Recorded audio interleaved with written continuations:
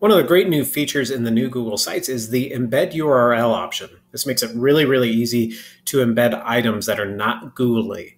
So YouTube is Google, their calendar map, their docs, their slides, all that stuff is Google. So they make it easy for them, but then they even made it easy for other items used to be you had to know how to copy the embed code and paste it in, and then you'd have to adjust sites. And sometimes to get those customizations, you had to know how to do some HTML.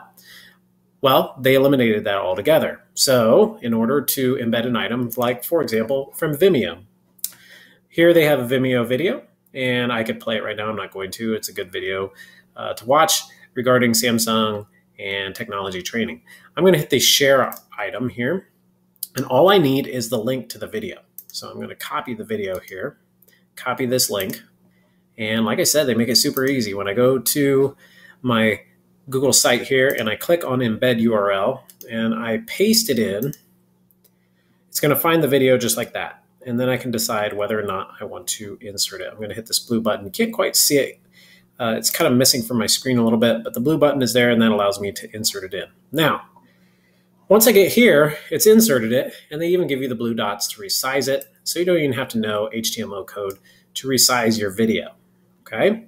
Then positioning. It used to be in the old Google sites to position an item. In the old sites, you had to center it. You had to treat it like text, actually, uh, kind of like in a Google Doc. This is even easier because all you have to do to move it is shift it to where you want to go. And as you can see, they have the nice guides. Uh, down at the bottom, uh, they have the guides letting you know where it's equal between each side, and they also have those lines letting you know uh, exactly where you want to position it.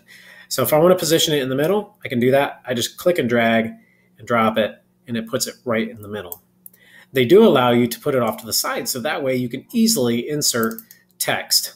So if I wanted to insert a text item in this spot right here, I can do that when I choose the text option, it actually places the text right there where I double clicked.